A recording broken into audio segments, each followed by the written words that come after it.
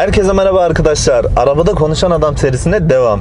Biliyorum bu seriyi çok sevmiyorsunuz. Araba incelemesi gelsin falan diyorsunuz ama başlıktan da anladığınız gibi neden araba incelemesinin gelmediğini sizlere açıklayacağım. Evet açıklayacağım. Biliyorsunuz ki biz bu işe çekirdekten geldik. En amatör zamanlarımızı bilenler var. İlk 5000 abonelerim hele. Her şeyi biliyordur onlar benim için çok özeller. Nerelerden nerelere geldik. Elinde bir tane kamera bayi köşelerinde kısıla kısıla bir video çeken. Aman sesimi kimse duymasın. Bayiden kovmasınlar. İşte e, bir içerik üreteyim. Bir YouTube'a video atayım. Abonelerim benden video bekliyor. İşte e, Instagram'da ilk zamanlar hep şunu paylaşırdım. Yayındaki video 1000 izlenmeyi önce öyleydi sonra 2000 yaptım onu. Yayındaki video 2K 2000 izlenmeyi geçerse yeni video gelecek tarzı şey söylemler filan. Biz daha oralardan geldik geldik. Şimdi şu an videoyu çektiğimde tam 76 bin kişiye hitap eden bir aile olduk. 76 bin abonemiz var şu an itibariyle. Benim memleketimde Iğdır. Iğdır'ın plakası da 76. Çok şükür 76 bini olduk. Evet arkadaşlar şimdi e, 76 bin abonelik bir aileyiz ve artık insanlar diyor ki yine hep araba videosu gelsin falan. Arkadaşlar artık zamanın da geçmesiyle birlikte o zaman örneğin gidiyorduk bayilerde video çekiyorduk ediyorduk çoğundan izin alıyorduk çoğundan e, YouTube'a atacağımızı söylemiyorduk. Ya bu Honda beni bir konuşturmadı var ya. Vuruyor abi ne yapayım? Heh. Çoğundan izin alıyorduk. Çoğundan izin almadığımız oluyordu. Videolar çekiyorduk. Bayilerde falan e, ya da arkadaşımızdan, eşimizden, dostumuzdan oradan buradan arabalar bir nevi bulmaya çalışıyorduk, çekiyorduk falan filan gibisinden ikinci ele ağırlık veriyorduk mecburiyetten. Daha sonrasında şöyle bir şey oldu şu an. Artık yani kanal belli bir potansiyele geldi. Ben şu an elimde kamera bayide çeksem e, tahmin ettiğiniz gibi ya senin 76k abonen var sen neden bu tarz videolar çekersin? İnsanlar der beğenmez. Bundan eminim. Ondan da ziyade insanların beğenmesini bir köşeye bırakalım. E, bayilerde artık böyle çekimler yapamıyoruz. Evet bayiler artık bu çekimlere bayilerde neredeyse aracın fotoğrafını çekmeye bile izin vermiyorlar. Çünkü bunu çok suistimal eden oldu. Eline her kamerayı alan gitti bayide video çekip YouTube'a atmaya çalıştı. E, biz de öyle yaptık zaten en başında. Yani kendim de dahil. El- eline kamerayı alan gitti bayide video çekmeye çalıştık bir nevi. Ne yapalım biz de yani e, severek yapmaya istiyorduk falan gibisinden. Daha sonrasında markalar biliyorsunuz bana hiçbir zaman araç vermedi. Markalarımız sağ olsunlar e, yani herkes de biliyor. Lansmanlara teknoloji kanallarını davet ediyorlar. Bizi etmiyorlar. Hiçbir lansmana davet edilmedik. Onca mail attım. Her markaya mail atmışımdır. İşte kanalım bu. Girin izleyin, inceleyin.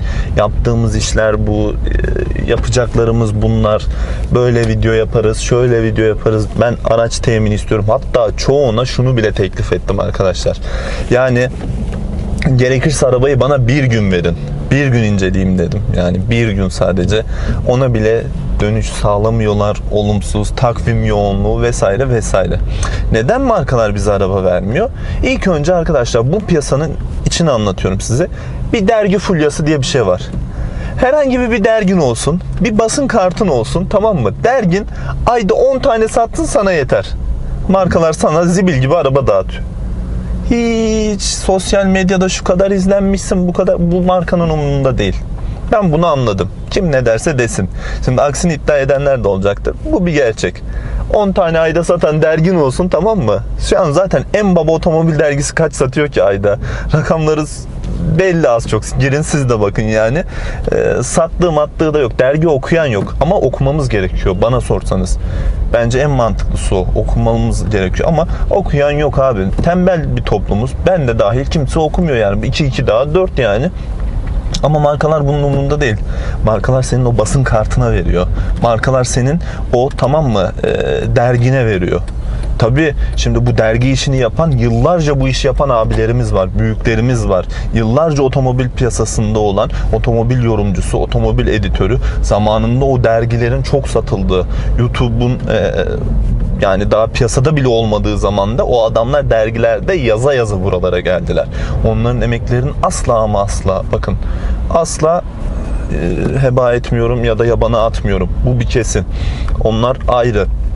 Ama ve lakin günümüz teknoloji çağı, günümüz e, sosyal medya. İnsanlar sosyal medya ile neler yapabiliyor? Bizim Civic örneğinde de biliyorsunuz neler yaptığımızı gördünüz. İnsanlar sosyal medyadan neler yapıyor neler. Ama işte markalar bunun farkında değil biliyor musunuz? Markalar kalıplaşmış bir şekilde devam ediyorlar hala. Yani onun dergisi var, onun basından, basın mensubu davet edelim lansmana gelsin. Davet edelim işte onu yapsın, bunu yapsın, şunu yapsın gibisinden türlü türlü şeyler. Ama e, bize gelince biz maillerimizi atıyoruz. İşte bakın şu kadar izlenme oranımız var aylık bazda, haftalık bazda şu işte yaptığımız işler şunlar bunlar. Bize araba veren yok. Yani e, videonun gelmeme sebebi de budur arkadaşlar. Bana serzeniş edeceğinizi e, abi seni çok seviyoruz ama niye video gelmiyor? Niye yeni arabayı görmüyoruz? Ha, örneğin geçen Polo çıktı. Herkes diyor ki Polo testi senden duymak istiyoruz. Çünkü herkesin yorumu farklıdır bakın. Bu işi yapan birçok insan var. Hepimiz ayrı ayrı izleniyoruz. Ve ortak takipçilerimiz de var. Hepimizin yorumu ayrıdır ama. Ben ayrı yorumlarım. E, otopark ayrı yorumlar. The Makine ayrı yorumlar. E, Cevat ayrı yorumlar. O ayrı yorumlar. Bu ayrı yorumlar. Herkesin tamam mı? Değişik e, fikirleri, değişik beyanları vardır. Değişik gözlemleri vardır. Herkesin yorumu ayrıdır. İnsanlar benden duymak ister. Benim has kitlem. Ya da e, başkasının has kitlesi ondan duymak ister. Gibi gibi. Yani ben örneğin hiçbir zaman hala otopark e, otopark.com'un hiçbir testini kaçırmam. Hala saniyesi saniyesine sorun ezbere biliyorum. Açıklayayım size şey yapayım. Çünkü ben çocukluktan o adamın hayranıyım. Yani bir arabayı herkes çeksin. Sinan abi çekmesin yani. Otopark çekmesin. Ben hala Sinan abi neden çekmedi? Sinan abiden duymak isterim ben. Derim. Yani gibi gibi kitle. Şimdi bizim de öyle kitlemiz az çok oluştu. Ama biz bunu anlatamıyoruz. Herkesi çağırıyorlar ve son zamanlarda o kadar abarttılar ki bu işi. Biliyorsunuz özellikle Nissan'ın lansmanlarında falan oldu bu. Abi adamlar lansmana otomobil kanalını şey e, pardon özür dilerim. Teknoloji kanalını çağırıyor ya. Teknoloji kanalları lansmanlara davet ediliyor artık. Ve yani öyle saçma, öyle e, kötü bir durumda kalıyorlar ki. Çünkü onların uzmanlık alanı değil. Bakın benim onlara da saygım var. Abi onların uzmanlık alanı bu değil. Yani ben orada onların e, nasıl böyle ne diyeceğiz acaba ne o arada kaldıklarını hissediyorum. Siz hissedersiniz hissetmezsiniz ama bizi ne yazık ki davet etmiyorlar. Ve bu yüzden araç şey yapamıyoruz. Yani çalıştığımız ben de bu noktadan sonra ne yaptım? Çalıştığım kendime bayiler seçtim. Dedim ki böyle böyle benim bir kitlem var. Ee, benim bir izlenmem var. Ee, ben buyum. Girin bakın. Ee, video yapalım. Hem açık konuşayım. Konuşmamız aynen böyle. Hem bayinizin reklamı olacak. Hem ben içerik üreteceğim kendime. Çünkü ben markalardan araba alamıyorum. Hem ben davet edilmiyorum. Hem ben kendime içerik üreteceğim. Hem bayinizin reklamı olacak ama sizden ekstra bir talep istiyorum. Ben bayinizin reklamı karşılığında benim adımla gelenlere yani e, şöyle söyleyeyim 250 lira da 250'dir. 500 de 500'dür. Yani araba alırken 500 indirirsin tamam mı?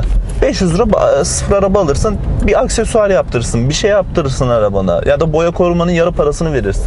Yani benim adımla gelenlere ekstra bir indirim yapın dedim. Ve çoğu bayi de bunu olumlu karşıladı. Tamam görelim gelen var mı gelecek mi? Hyundai'de müthiş rakamlar elde ettik. Nissan'da keza öyle. Opel'de öyle. Böyle birkaç markayla bağlantılıyız çalışıyoruz. İşte direkt bayi odaklı çalışıyoruz. Ve birkaç markayla da görüşme talep ettik. Açık konuşayım onlar da yok bizim böyle bir çalışma politikamız yok. Ee, bizle değil e, işte Türkiye dağıtıcısıyla örneğin Renault e, gidin Renault Mais'le görüşün dedi. İşte Volkswagen Doğuş Oto ile görüşün. Biz bu, bu işe girmeyiz falan gibisinden söyleyenler de oldu. Bize güvenip arkamızda duranlar da oldu. Çok sıkı dostluklar kurduk. İnanın yani e, bayi müdürleri olsun, satış temsilcileri olsun çok sıkı iyi dostluklar kurduk hepsiyle. Örneğin Selçuk Bey, buradan Murat abim gerçekten Allah razı olsun onlardan bana güvendiler ve ben de onların güvenini boşa çıkarmadım bir yerde. Güzel hem onlar kazandı hem de biz e, böyle bir içerik üretebildik. Çünkü ne yapacaktık artık yani insanlar yeni araçları merak ediyordu.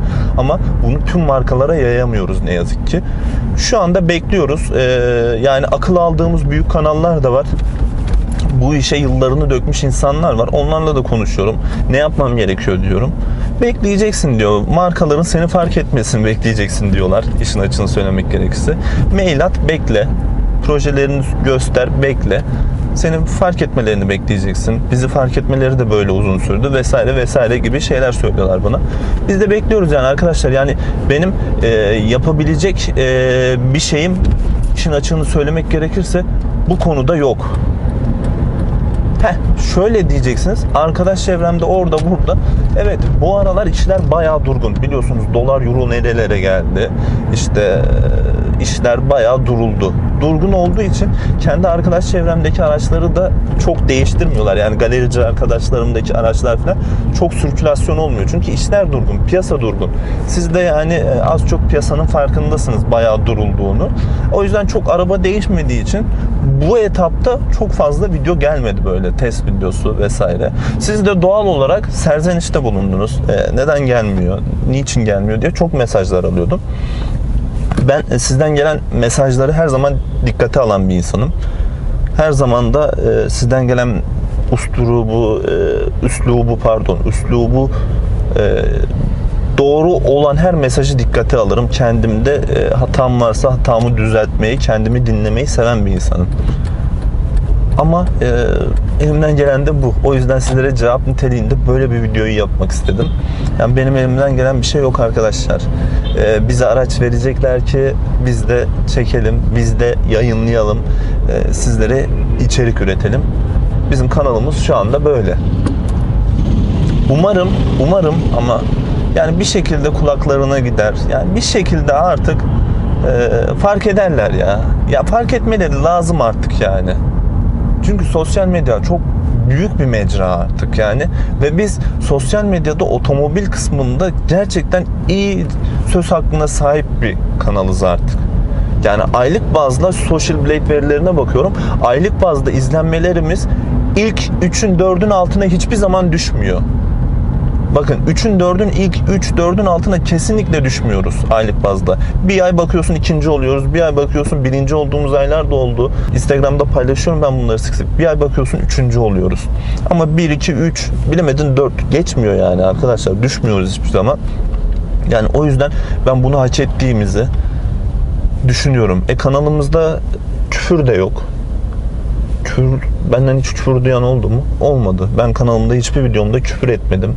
Yani diyeyim ki küfür ediyorum işte çok labaliyim, öyleyim, böyleyim. Marka bana araba vermiyor. E küfür de etmiyorum. Bir saygısızlık da yok. E, bu konuda markalar katı biliyorum. E, ya da işte arabayla işte el freni çek, onu yap, bunu yap. Bu tarz şeyler de yapmıyorum. Ama e, bekliyorum ya. İnşallah inşallah her şey iyi olacak. İnşallah bir yerde e, gözlerine batacağız e, ve inşallah benim abonelerim e, abi şu ara araba çıktı yeni araba. Videonu bekliyoruz. Ne zaman gelir dediğinde e, ben onlara cevap vermemek ya da ben onlara e, marka bize araba vermiyor ki kardeşim demek yerine şu tarihte görüşmelerimiz var. Aracı alacağız. En yakın zamanda duyuracağız ne zaman videonun geleceğini demeyi çok istiyorum. Çünkü üzülüyorum. Yazıyorlar bana şu arabanın testi gelecek mi? Bu arabanın testi gelecek mi? E, Ben de ne diyeyim abi vermiyor ki. Nereden alayım ben arabayı yani?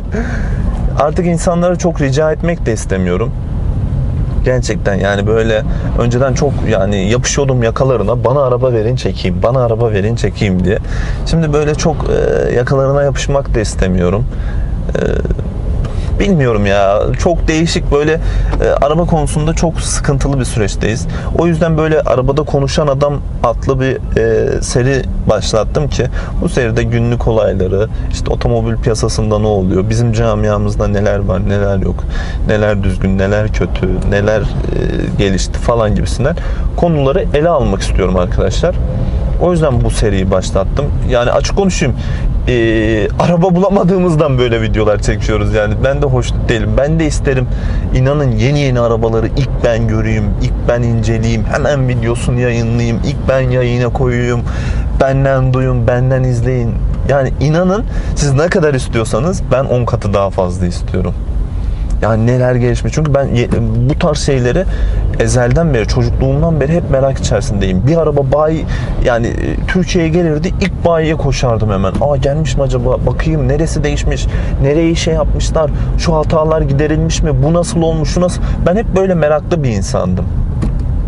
Donanım Haber'de çok takılıyordum. İşte Donanım Haber'de yazarlardı, e, tanıtıldı. İşte bilmem Frankfurt Fuarı'nda tanıtıldı falan şu araç, bu araç. Hemen girerdim, detayları okurdum. Ne olmuş, ne bitmiş diye. Ben hep böyle meraklı bir insanım işine açığı. Ama işte elden gelen bir şey yok. Ama inşallah iyi olacak arkadaşlar. Ben buna güveniyorum. İnşallah markalar bizi fark edecek. İnşallah markalar bizimle çalışmayı e, yani bizimle çalışmayı isteyecekler. Biz de e, taleplerine iyi yönde cevaplar vereceğiz. Umarım olur. Başka ne diyeyim ki? Kendimi çok fazla böyle anlatamıyorum bazen. Öyle hissediyorum. Ve e, videoyu kapatacağım şimdi. Videoyu kapatmadan önce biliyorsunuz ki e, bu hafta içerisinde Alican abimiz e, vefat etti. Alican abi e, tırcı bir abimizdi. Almanya'da tır videoları çekerdi. Ben kendisini arkadaşlar çok takip ederdim. E, özellikle YouTube'a girmeden önce çok takip ediyordum. E, videolarını izliyordum. Bizim Nazım Fatih abi e, tır kanalı açtıktan sonra pek izleyemedim onu. İşin açığını söylemek gerekirse. Ama her zaman Alican abi izlemeye çalışırdım yani. Özellikle YouTube'a girmeden önce çok izlerdim ben Alican abi. Çok fanıydım. Ee, birkaç kere hatta yorum yazmıştım, cevap yazmıştım. Nasıl mutlu olmuştum. Daha o zaman ben piyasada yoktum YouTube piyasasında. Çok çok mutlu olmuştum. Çok üzdü beni. İnanın yani evdeki ev halkı, ailem bile bana ya Aziz bu kadar izleme artık bu adamın videolarını. Hep eski eski videolarını izliyorum. İçerliyorum böyle suratım asıyor. Çoğu zaman e, ağladım ettim. Evdekiler psikolojim bozulacak ya. Ben hep şuna üzüldüm biliyor musunuz? Alican abi o kadar neşeli bir insandı ki. Yani Alican abi hiç tanımayan da varsa girsin kanalında bir izlesin videolarını. O kadar neşeli bir insandı ki. O adam yolda gitti kafasına taş düştü öldü deselerdi bu kadar içerlemezdim. Ama o adamın kalp krizinden gitmesi ya ben o kadar derinden yaraladı ki. Ya demek e, hepimiz gibi o da kamera önünde neşeli görünmeye çalışan, insanları güldürmeye çalışan, insanları eğlendirmeye çalışan biri. Ama içinde ne kadar derdi varmış be gerçekten içinde e, yaram hani bir şarkı var ya yaram içeriden. Gerçekten e, bunu gördük. İçimizi kimse bilemez. Siz bizi kamera önünde hep neşeli, eğlenceli, gülen, pozitif bir insan olarak görüyorsunuz. Öyle gösteriyoruz kendimizi. Kamera önünde tutup ağlayacak ya da somurtacak halimiz yok. Ama içimizi kimse bilemez. O yüzden yani ailesine sabır diliyorum. Geçmişte geride kalan aile bireylerine uzun ömürler, sağlıklı ömürler diliyorum inşallah. Ve e, bu videoyu izleyenler, şu kısmı izleyen herkesten elinizi açın. Bir Alican abi için Fatiha okuyun. Yani e, tek çare dua. Geri gelmez çünkü giden. E, Onu çok seviyordum. Allah e, mekanını cennet eylesin. Ailesine sabır versin. Görüşmek üzere.